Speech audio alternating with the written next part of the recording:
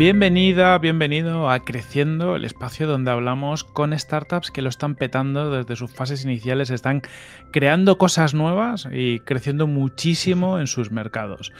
Hoy tenemos con nosotros a Hernán Hernández, CEO y cofundador de Gloop, que hacen pues, eh, pajitas y cucharitas sostenibles y comestibles, que esto es muy guay. Eh, bueno, que pasó ya por aquí por el programa eh, en un tibucornios a, una pelea ante inversores y bueno, luego conseguiste inversión, que habéis levantado una ronda y que andáis creciendo mucho eh, vuestro modelo. ¿Qué tal, Hernán? Muy bien, Corti. muchas gracias por invitarnos, por seguir dando voz a, a y nada, con ganas de pasarlo bien hoy. Mm, bueno, lo vamos a pasar bien seguro, hacéis cosas guapísimas y yo sobre todo te lo he dicho algunas veces. me acuerdo de vosotros prácticamente cada semana, por muchas cosas, pero sobre todo porque me siento a veces en una terracita a tomar un algo y te ponen la típica pajita de papel, que eso a los tres minutos estás con el mojito y, se te está metiendo el papel en la boca y, ¡ah! y digo, Gloop, Gloop, ¿por qué aquí no tienen Gloop? Y yo se lo digo en algunos sitios, venga, Gloop. O sea que alguna, alguna búsqueda a la web ha venido por mi culpa.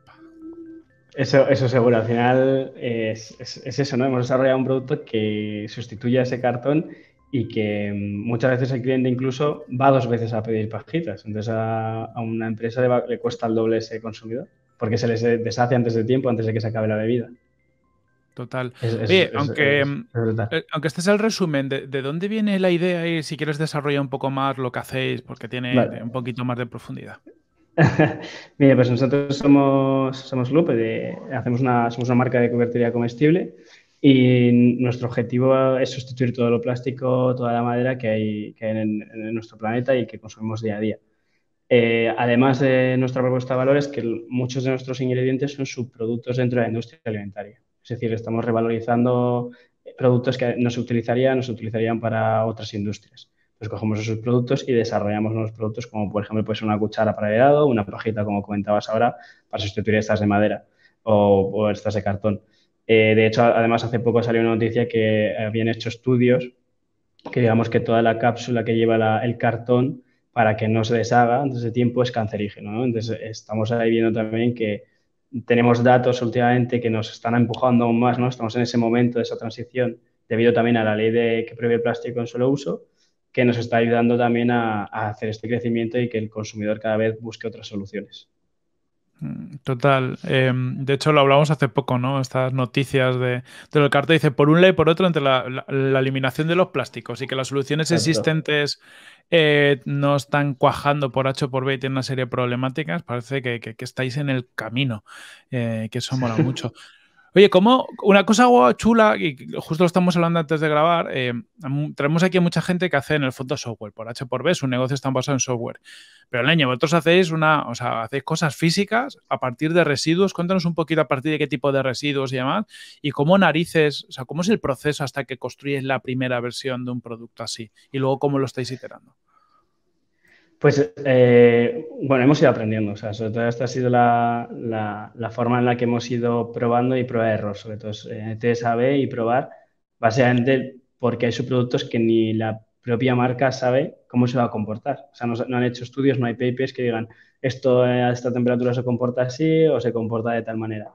Por lo tanto, nosotros lo que cogemos es hoy con el, con el expertise que hemos hecho de, de nuestro propio producto, vamos aplicando similitudes a posibles desarrollos que vamos probando. Y, hay veces que vemos que hay que tirar por una vía o por otra para poder entender cuál, cuál es, sobre todo con el foco de cuál, cuál va a ser el uso de ese, de ese producto. ¿no? Si necesitamos algo más duro, algo más blando, si se va a poner en contacto con un café que se sirve a 70 grados, si se va a poner en contacto con un cóctel que se sirve a, bueno, pues con hielo frío, frío, pues entonces eh, un poco vamos haciendo pruebas y mucho testing. Desarrollo eso, mm, estudiamos los subproductos en su parte teórica, y luego pasa por un proceso de más de y aplicamos a diferentes posibles usos que se le pueden dar. Y ahí vamos em, viendo cuál es mejor o cuál es peor. Pero vaya, de momento hay, hay esos productos, como te digo, que, es, que incluso algunos de ellos están en proceso de aceptación, o sea, por legislación para poder que se utilice para alimentación humana. Por lo tanto, imagínate la, mm. la, poca información que hay de esos, de esos subproductos. Claro, porque estas son las típicas cosas que hasta hace unos años se tiraban y, ya está, ¿no? Es decir, que, no sé que no se querían aprovechar, seguramente hasta, no, sé, hasta había mal visto el plantarte, el reutilizarlo. o sea, antes o se planteaba para uso animal, pues comida de cerdos, por ejemplo, ¿no? que en muchos casos se puede llegar a desarrollar, o se tiraba. Incluso eh, hemos encontrado clientes que es un problema de gestión de residuos y que nosotros al final lo que les proponemos es, oye, mm, no hagas esta gestión de residuos, sino vamos a poder intentar monetizar esto que estás tú llevando al, mercado como un nuevo producto que saques dentro de tu, de tu gama. Y ahí es el, el pain que vamos encontrando. Hmm. Sobre esto de gestión de residuos, que, no es tan obvio, ¿cómo de grande es el problema para, algunos tipos de empresas? Porque entiendo que algunos tipos de empresas, eh, eh, me refiero para, yo sé, para un bar es un problema, ¿no? Para determinados tipos de negocio hay que hacer la gestión de residuos, pero más o menos está controlado. Pero entiendo que grandes industrias y grandes productores a lo mejor se encuentran con toneladas de residuos. O sea, cuéntanos un poco sobre eso. Exacto. Un ejemplo puede ser una cervecera que a la hora de fermentar eh, genere toneladas y toneladas de, todo lo que le sobra de hacer todo el proceso de la cerveza. Eso al final, eh, o tú lo puedes llegar a monetizar eh, vendiéndose para comida de alimentos, como he dicho, pero eso es como casi regalarlo, porque si no te iba a costar dinero la gestión. Y en muchos otros casos, básicamente, es, tienen problemas y procesos y protocolos para poder deshacerse de ese producto porque no se puede aprovechar. hace poco hemos hecho una prueba con el pozo de café. El pozo de café no se estaba aprovechando para nada. Entonces habíamos dicho, oye, se puede aprovechar, se puede hacer diferentes pruebas y productos y, esa gestión logística que lleva para la empresa es un impacto económico muy alto, porque al final son camiones y toneladas de transportar a un sitio, pagar por la planta de residuo, todo lo que conlleva en sí. Sí, sí, es, es es un, o sea, es un dolor que pueden tener las corporaciones perfectamente de la parte de industria de alimentación. Mm, qué chulo. Y mm, a ver, vosotros os ponéis en su momento y ahora a experimentar con este tipo de cosas, con, residuos para crear la pajita. Pero claro, al final empezáis, como digo yo, con una mano delante y otra detrás, eh, Marta y tú, ¿no? tu, socio y tú, y antes incluso de la primera ronda ya, ya eh, eh, tenéis unos prototipos. ¿Cómo hacéis esos prototipos? cómo es el proceso, quién nos lo hace. Em, porque claro, ya la idea es brutal, pero el conseguir hacer un producto real con, muy poquitos recursos sobre esto es un reto. Bueno, nosotros al, final somos muy de hacer, ¿no? Y lo que dijimos, vale, esto hay que, probar qué viabilidad hay para dentro de un mercado. Cuánto de, loco es esto de que cambiemos el usar y tirar por el usar y comer. Y era para nosotros era como fundamental si nos queríamos poner al barro, ¿no? Era como vale, vamos a sacar un prototipo y a, venderlo y a ver qué dice. Y, es, lo que, es lo que hicimos y es lo que solemos hacer a nivel de dentro de, filosofía de startup. Nos, nos hicimos un par, o sea, lo que buscábamos era validar que el concepto, o sea, ya, ya que esté buena, mala, si se puede morder, no se puede morder, es, otra cosa que vamos a entrar en la calidad del producto, ¿no? Pero nosotros era, oye, vamos a entrar con algo que sea muy similar a lo que en el futuro puede llegar a ser eh, la, beta, pero vamos a ir al cliente rápido. Es decir, vamos a ir a venderla y a ver qué opina. Entonces, pues nosotros sí que hubo una, en su momento, mucho tiempo en, un laboratorio, em, a ver qué puede ayudarnos y luego, pues, eh, o mentores o similar que te podían ayudar, pues, al desarrollo, a hacer I más D de manera altruista. Y luego, cuando llegó el momento, ya fue más, eh, vamos a un industrial y con ese industrial le decimos lo que hemos planteado y, vamos a hacer algunas pruebas. Si, enamoras a una industria de alimentación, que ya sabes cómo son, como, como son algunos que si no ven volúmenes de millones no te abren la puerta, pero si tocas alguna puerta, haces alguna buena relación o incluso nosotros que eh, nos pusimos a co-desarrollar, pues pueden salir cosas muy interesantes que te pueden servir a ti en la fase, como nos sirvió a nosotros, en la fase inicial para mm, probamos a desarrollarlo y en el mes 4 o 5, aunque fuera comestible, vamos a, ver qué dice el, consumidor. Me acuerdo que empezamos a vender en febrero y ahí fuimos empezando a traccionar que, con las primeras conversiones a venta. Ah, con, dos narices, ¿eh? Porque todo esto que dice Hernán tan rápido, yo me imagino, bueno, Hernán, em, yo, yo al menos como lo veo, es una de estas personas que hablas con, ella y te encandila. Que yo creo que eso, eso es un, plus que tú tienes, que estoy seguro que has ido hablando con laboratorios industriales y tal, y has conseguido parte de lo que has conseguido, porque tienes una habilidad especial para caer bien y para, y para convencer con tu idea. Porque claro, entiendo que, que si no, una industria ve Hernán, tu socio tú sois súper jóvenes, o sea, sois asquerosamente jóvenes. Eh, vienen, vamos a hacer una pajita comestible y dices, anda, chavales, eh, ¿qué me estáis contando? ¿Habéis recibido mucho rechazo o, luego ha sido más fácil? Pues yo creo que le he pasado peor. Ahora viéndolo con una vista más eh, desde arriba, con la captación de partners industriales y proveedores eh, a nivel de, sobre todo este año a lo mejor, y el escalado del producto, que eh, incluso levantando la ronda. ¿no? Que decimos, es que a los emprendedores es difícil levantar la ronda, que no es que fuera fácil, ¿no? En su momento ya, ya lo sabes, pero mm, a nivel de, de esfuerzo y energías, la, tú tienes un inversor y te va a estar diciendo que no, pero sabes que hay muchísimos y que, bueno, pues poco a poco vas cerrando tickets y vas evolucionando. Es que un industrial al final no hay tantísimos. Además vas buscando tecnología, un tipo de tecnología, vas, buscando unos volúmenes muy bajos. Pensar que para, para poder eh, encandilar a una persona, a un industrial, seguramente cuando quieran hacer pruebas de tu producto tengan que parar toda una línea de fábrica.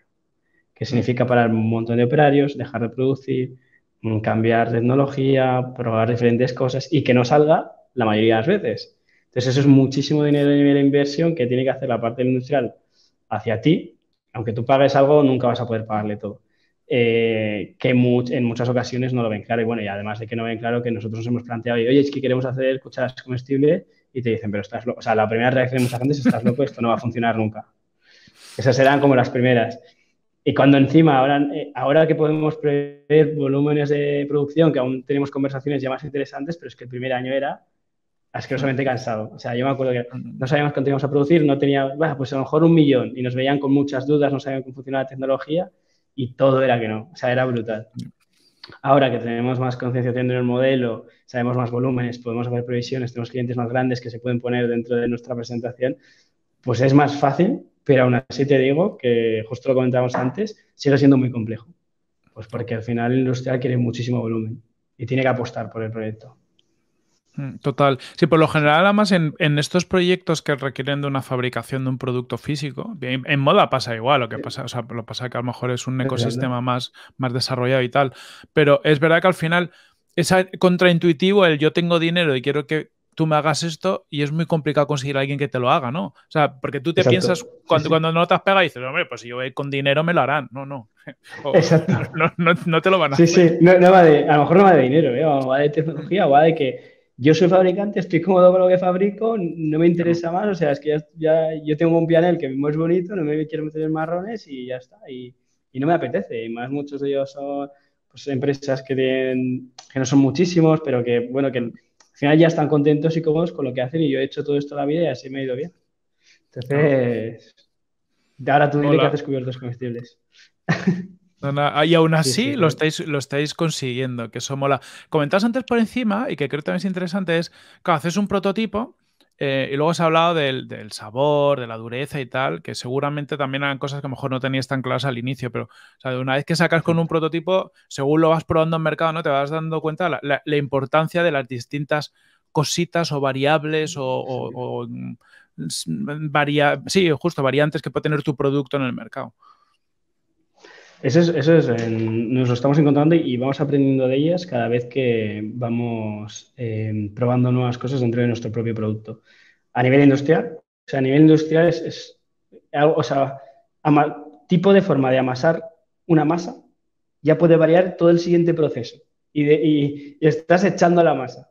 O sea, eso es lo que te quiero decir, que al final tenemos que ser tan obsesos del proceso industrial para sacar lo que queremos que tienes que hacerlo todo igual en el mismo proceso y ir cambiando diferentes variables, pero es que una variable en, la fase 1 seguramente te cambie muchísimo ya en la fase 5 del proceso industrial. Y, entonces, vale, pruebo una en la 1, pruebo un poquito aquí esto y voy a ver si todas las demás están bien alineadas y de repente encuentras que una no, entonces voy a compensar y es un, juego de ir probando muchísimo y compensando.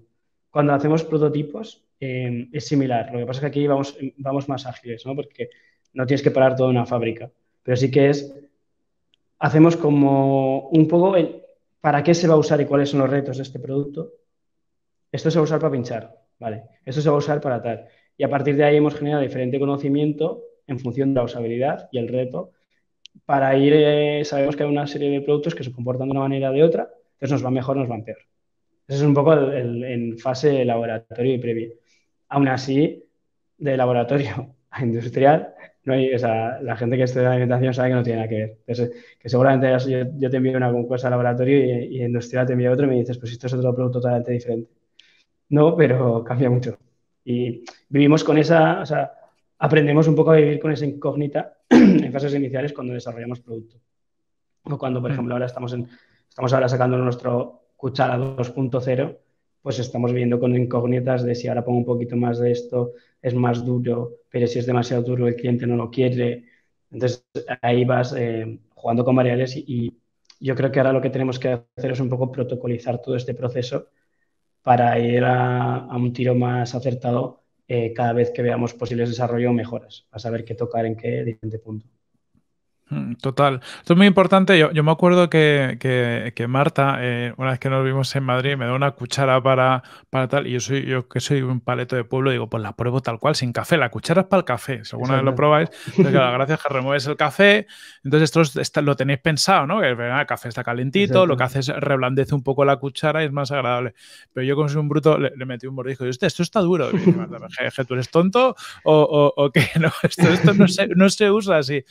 Pero claro que lo, que mola de estas cosas es que mm, desde fuera no te paras a pensar lo increíblemente complejo y cómo varía pequeñas cosas te pueden afectar al producto, ¿no? Tienes que asegurarte que el producto pues tenga una dureza para el transporte, pero luego tenga una dureza distinta después de tanto tiempo de uso, cuánto tiempo se va a usar, cuánto tiempo está una cucharita en el café de media, y que a lo mejor si lo tengo Claro, que a lo mejor está tres horas en el café y se deshace del todo. ¿Por qué? Porque no está pensado un café para, para tres horas, ¿no? Ese tipo de cosas. Sí, sí. Sí, al final es em, para qué se va a usar y luego la, segunda respuesta que has, has, dicho muy bien es cómo la va a usar el usuario. En, el caso del removedor, tú, te, tú en una cafetería un día y observa a la gente. Y vas a ver la cantidad de variables, de, o sea, igual que personas hay, variables hay de consumo. Y esto es brutal, porque yo me he sentado alguna vez y tú te sientas y dices, a ver, esa persona que coge y no lo remueve, entonces lo deja directamente. La persona que lo remueve hace tres moviditas así y lo deja. La persona que lo deja en el café. La persona, entonces, tienes tantas variables que al final tienes que ir como viendo cómo haces el producto para que se amolde, no, no es un producto perfecto, pero que, como, que lleve la mayor, o sea, que aguante la mayor posible de variables. Entonces ahí es el, otro reto, ¿no? Es para qué se va a usar y, cómo lo va a usar el usuario. Es muy, mm. importante también. Ahí tenemos un reto que por eso trabajamos la marca de comunicación. Es, como, eh, y el reto de comunicación está en, oye, esto se usa y después se come que parece muy fácil, porque tú, la gente lo primero que hace es le pega un mordisco, ¿no? Y porque te tienta, hostia, esto se come, lo, lo muerdo. Y no, o sea, al final es, lo uso, uso que humedad se pone en contacto con mi boca y a partir de ahí me lo puedo comer, porque ha pasado un tiempo de transición.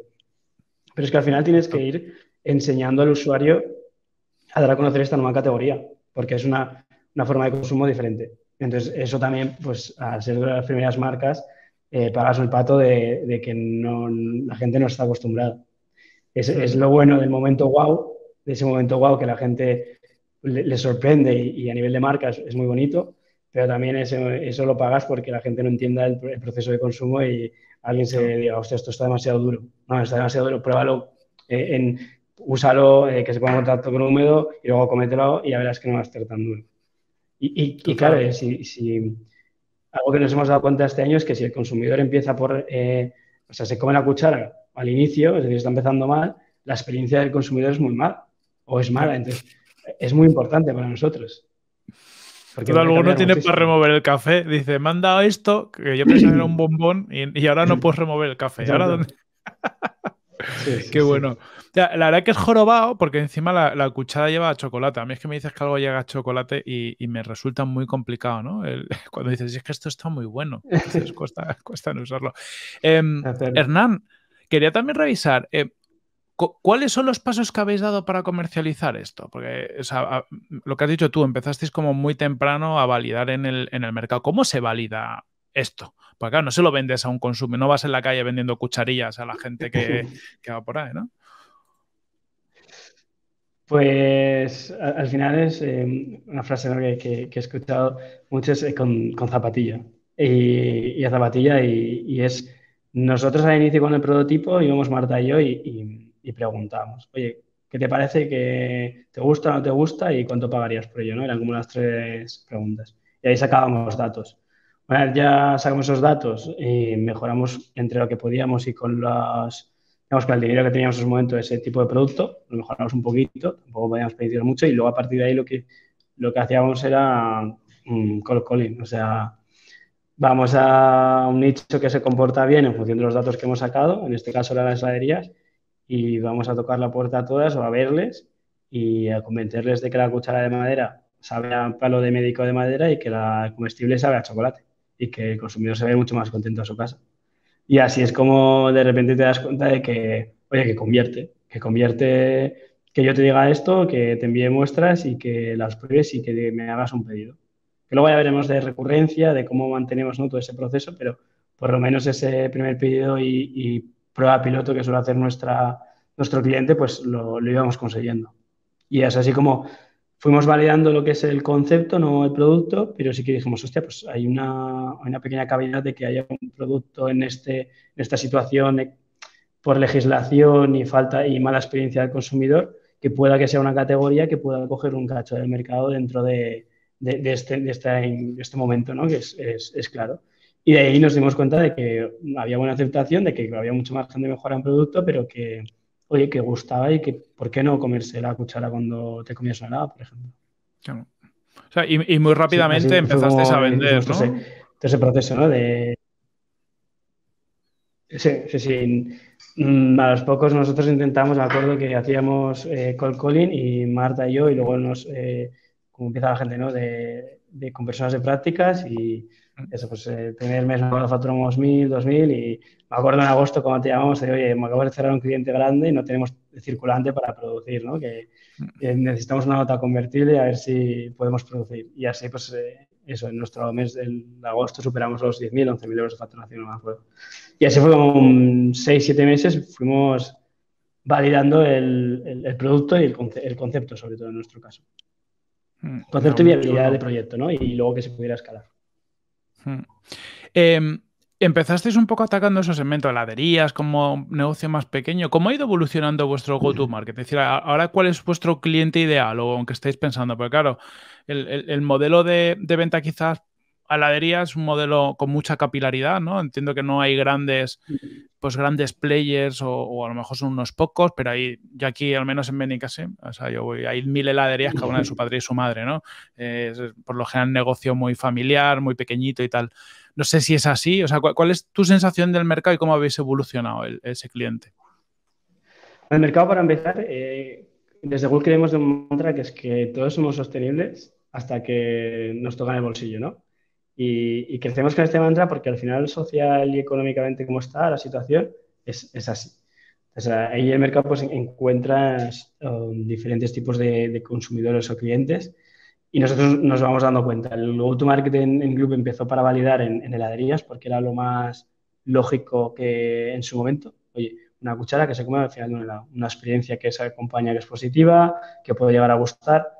Y ahí, pues, mm, perfecto. ¿Cómo hemos evolucionado? Pues al final hemos ido viendo con el propio consumidor qué otro tipo de producto podían llegar a usar, ¿no? Pues este año hemos sacado el removedor de, de, de café, el, también estamos sacando las pajitas a nivel industrial y escalado. Entonces vamos, vamos viendo, ¿no? En, primero en aumentar el ticket con producto y después en diferentes tipos de clientes, ¿no? Pues ya no nos quedamos en heladerías.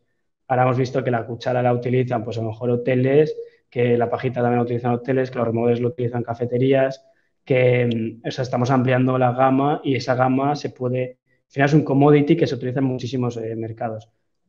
Eso es suerte y es un problema, ¿no? Porque hay que saber también que, cuál es el foco del mercado, ¿no? Es, oye, cuál, qué tres targets estamos atacando, cuáles no, y cuáles están comportando mejor en la situación actual. Estamos un poco en, eso. Em, ese es nuestro paraguas. O sector Oreca es nuestro paraguas, lo que pasa es que sí que tenemos eh, algunos que se comportan mejor o peor y luego también los filtramos en función de tipo de empresa, porque hay, gente que le importa la sostenibilidad hay gente que le da igual. A esos que le da igual también vamos a atacarlos porque nuestro objetivo es igual que hemos dicho, todos somos, o sea, todo el mundo quiere sostenible pero no pagar por ello, estamos muy enfocado en todo el proceso que no le comentaba antes de proceso de fabricación. Está todo pensado para que el, coste del producto final sea lo más barato posible para llegar a competir con, esas otras alternativas. Entonces, que yo al que no quiere comprar por sostenibilidad le digo, oye, si es que el pianel no te va a afectar. Es decir, que vas, eh, la, mi cuchara comestible te va a costar lo mismo que la cuchara de madera. Entonces, ahí es, es una de las variables que, que era de producto. Y luego también nos hemos dado cuenta, ¿no? Que aparte de todo el nivel Oreca y hoteles, está en la parte de, como hemos comentado al principio, de, de corporate.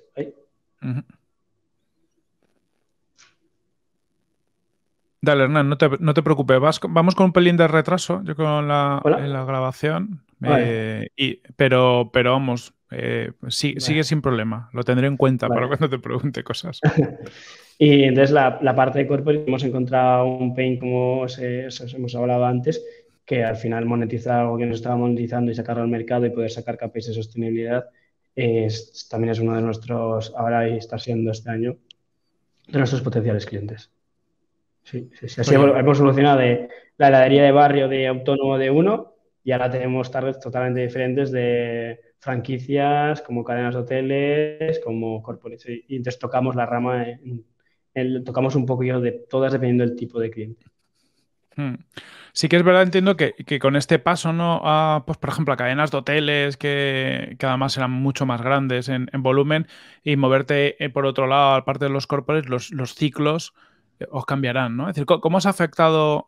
yo te lo contaba antes de grabar, cuando nosotros en Product Hackers pasamos de empresa más, dar servicio a empresa más pequeña más grande, te enfrentas por lo general a un valle de la muerte, que es el, ojo lavado de, claro, eh, empiezas a dejar de poquito a poco dar servicio a unos, pero los que les empiezas a dar servicio te alargan el arranque mucho. En nuestro caso, al final las negociaciones se alargan incluso mucho más de lo que tú esperas.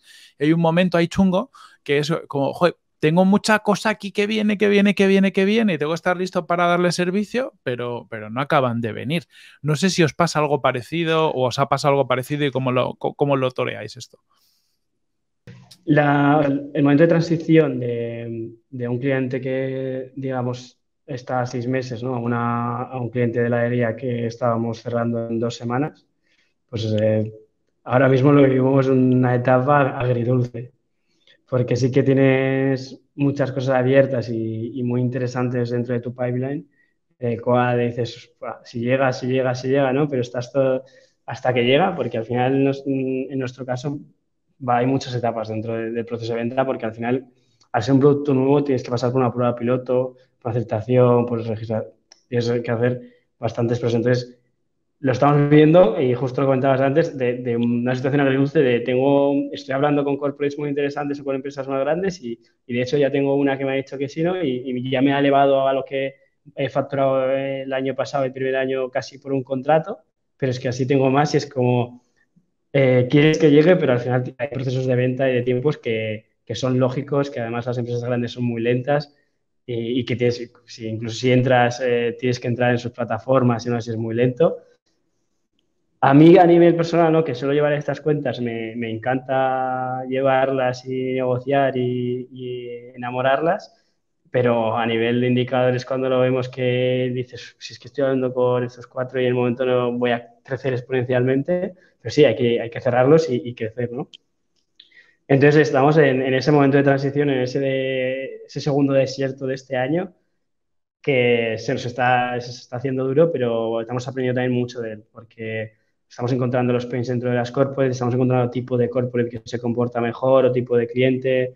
Entonces, em, bueno, intentamos llevarlo y, tomamos las, las, victorias también como, como, reuniones o catas que hacemos para vivirlo a corto plazo, ¿no? Es decir, oye, o sea, hemos cerrado esta cata con este cliente, es grande, le gusta, le gusta el producto, eso te genera mucha energía porque validas el modelo y, sabes que es posible cuando ya has cerrado uno grande hace dos o tres semanas, ¿no? Entonces, eh, vives con ese easy que ganas y cerramos este o no, como cambia la película, o a lo mejor cierras dos contratos y ya has facturado más que, o has facturado el doble casi que lo que has facturado en tu, en tu vida dentro de las startups, ¿no? Eso es muy bonito.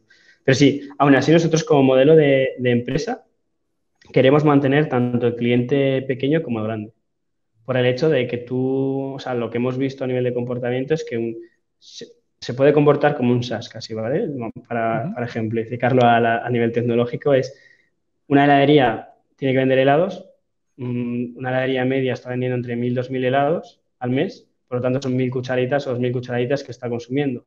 Si nosotros conseguimos una recurrencia de 2.000 cucharitas al mes, em, que pueden ser 20, 20 o 10 cajas, estamos hablando de un ticket de 300 euros al mes o 250 por 12 meses, por el número de heladerías que puedas llegar a captar. Que estamos hablando, mejor, imagínate un ticket de 200, pero si son, nosotros ahora mismo em, hay más de 100 heladerías que han probado nuestras cucharas. Si esas 100 heladerías mes a mes o mes y medio hace un ticket de 250 euros, estás hablando de 250.000 euros con un cliente que eh, te paga al momento o a las dos semanas y que normalmente si sigue recurriendo y haciendo, entonces te genera un músculo de, tesorería y financiero muy bueno a nivel estratégico. Entonces creemos que como empresa tenemos que vivir con ambos modelos. está muy bien ¿no? que el corporate que, que cierra 60.000 euros de producto con él y, es perfecto porque te hace pum y a lo mejor el, el gasto en logística es mucho, pues ya sabes cómo tienes que hacerlo y tal incluso en personal, pero también esa persona te va, esa empresa te va a pagar a 60 o 90 días. Entonces, eh, vamos mezclando un poco el modelo para tener un circulante, porque somos una empresa final industrial y hay que producir, hay que tener un stock y creemos que es inteligente vivir con los dos, pero llevando el modelo de pequeño un poco a un estilo SaaS. Oye, suena, suena muy guay toda esa parte del, del SaaS Em, que tiene mucho sentido ¿no? con, este producto que al final es recurrente para, vuestros clientes. Hernán, ¿cuáles serían vuestros principales retos para los próximos 3-6 meses? ¿En qué, ¿En qué estáis ahora a saco pegándoos? Nuestra lucha en este año ha sido una lucha de transición de escalabilidad de producto por, por, la, por el precio, ¿no? por, por poder llegar a penetrar el mercado lo más competitivo posible. Entonces, eh, nosotros ese primer año validamos concepto y este año hemos validado proceso industrial y, calidad de producto. Y ahí ha sido, ha sido lo que nos ha quitado las noches de dormir algunos días de los nervios de llegaremos a precio competitivo, no llegaremos y llegaremos a una calidad de producto suficiente para, para convencer a otro tipo de cliente más grande que cuanto más grande es más exigente, tanto en precio como en calidad y ya no vale la cuchara de, la fase 1.0 que era dura y que apenas se podía comer, ¿no? Entonces, em, eso es nuestra pelea ahora mismo como, como, startup. Paralelamente, lo que vamos abriendo es, como hicimos en su momento, ¿no? De intentar vender aquello que estábamos prototipando, pues ahora hacemos lo mismo, pero con un poquito más de productos, de clientes más grandes. Pero porque es, ellos mismos los haces formar parte del proceso final de producción porque ahí ya podemos decir, oye, mira, estamos en esta fase final, ¿qué te parece? ¿Te gustaría más duro, menos duro? ¿Qué sabor te gustaría? Entonces es el momento en el que aporten. Y a lo mejor, además, ellos se sienten parte ¿no? de, esa producción final del producto, entonces también es, oye, este producto es como muy hecho a, mi medida. Entonces es nuestro, ahora mismo es un poco nuestro gran, gran dolor, ¿no? Esa calidad y esa escalabilidad de, nuestro producto para poder eh, llegar a, una facturación muy adecuada, pero con un escalado muy, muy grande, ¿no? Si una cucharita vale 3 céntimos, pues para poder facturar solo 100.000 euros, imagínate la cantidad de cucharas que hay que, que hay que vender. Es un negocio de volúmenes y estamos en ello. Hmm. Es curioso, ¿no? Que muchas veces en, estos negocios el, producto va a marcar la escalabilidad, más, más allá que la capacidad de venta o lo que sea, ¿no? tienes un, producto a un precio adecuado, lo que has dicho tú, precio adecuado, con todas las características adecuadas y que lo puedas producir además a una velocidad, o si no, es que da igual, que se rompe por algún lado. Sí, sí, sí, sí, es exacto, que puedas controlarlo.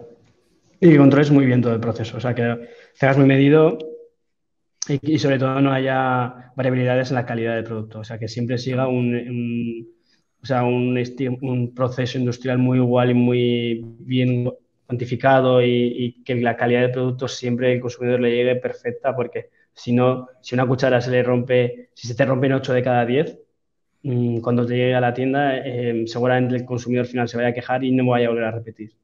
O sea, ahí es donde estamos trabajando nosotros ahora, ¿no? Es queremos que nuestro producto sea de 10, con una calidad y sabiendo con la utilidad que se va a usar, si se usa de otra manera ya lo vemos, pero con la utilidad que se va a usar que sea de 10 para que ese cliente mm, comprar cucharas comestibles no sea algo diferente para él, sino es, de hecho la pregunta es, ostras, ¿cómo podríamos comer con cucharas de madera que saben mal? Hmm. Para que le den un poco esa vuelta de algo como normalizarlo. Sí, sí. Oye, vamos a hacer un llamamiento a los que nos estén escuchando. Mm, ¿Qué tipo de corpores con gestión de residuos, pues oye, podéis acercaros o se pueden acercar a vosotros para, para hacer algo conjunto? ¿O, qué tipo de, negocios, eh, pues de mundo hospital y de lo que sea, em, o Oreca eh, tiene sentido para vosotros. A ver si hay alguien que le haya gustado lo que ha estado escuchando y vea posibles sinergias. Pues, oye, ¿qué tipo de negocio y sobre todo por dónde podría contactarte, contactaros para, ver posibilidades de colaboración? Pues a nivel, pues aquellas empresas eh, de la industria alimentaria. ah, ahí nosotros, y algo que hemos aprendido a hacer es un poco esa consultoría, ¿no? Es, oye, pues vamos a mirar juntos la casa y a ver qué reaprovechamos de ahí, ¿no? Como qué, vendemos de segunda mano. Pues es un poco esa, esa parte y, ver, y plantearles la propuesta de valor que puede llegar a tener para su compañía a nivel de, o sea, que les mueva levita de la aguja de levita hacia la derecha, que se posicionen como marca o que, o que simplemente quieran reaprovecharlo y regalarlo a su, a su consumidor final, ¿no? Mm, toda la industria alimentaria, eh, luego habría que analizar, ¿no? Pues puede ser interesante para, para nuestro modelo. Y luego también, pues, eh, o empresas que estén enfocadas en desarrollar productos o, proyectos más eh, con producto físico sostenible es un poco lo que tenemos de target, ¿no? ¿Cómo nos pueden contactar? al final, pues eh, por LinkedIn, que, es solo Hernán Hernández Olaya. Y, y, si no, por la página web también nos podéis contactar, que respondemos bastante ágiles. Bueno, ya sabéis, quien quiera tener una alimentaria y quiera ser más sostenible y hacer cosas muy guays, contactar con Gloop. Hernán, si te animas, en unos seis meses así te volvemos a traer y, nos cuentas cómo, cómo, narices habéis escalado desde ahora hasta la siguiente fase, que seguro que en seis, nueve meses eh, habéis aprendido un huevo de cosas. Y a mí me apetece tener por aquí de vez en cuando un producto físico con, con impacto y un poco distinto, porque las cosas que nos has contado no nos las suelen contar mucho por aquí. Te contaba cosas muy casi science fiction eh, de lo complejas que son, ¿no? El tema de producto y demás. Sí, joder, sí. Además, eh, espero poder venir en seis meses y deciros, mira, el momento este de desierto, la segunda parte del desierto, cómo lo hemos vivido y cómo, qué, resultado ha tenido, ¿no? Y porque creo que es un momento muy duro como compañía, y, pero también eh, creo que es muy bonito, ¿no? El, cuando empiezas a validarlo ya que hay algunas corporates que se lo plantean y lo miran y lo, le dan una vuelta, dices, bueno, esto que estoy haciendo tiene, tiene coherencia, ¿no? Y es lógico. Entonces ahí es, ese puente, pero también bonito por parte de que has creado algo que se está empezando a usar y encima hace bueno al planeta y eso es, eso es chulo. Justo, tiene un impacto que, es de verdad. Nada, Hernán, muchas gracias a ti y a todos los que nos estáis escuchando. Ya sabéis, iros a buscar Gloop, que G-L-O-O-P, que vais a encontrar además en redes sociales cosas muy chulas. Y hasta la próxima semana y un fuerte abrazo.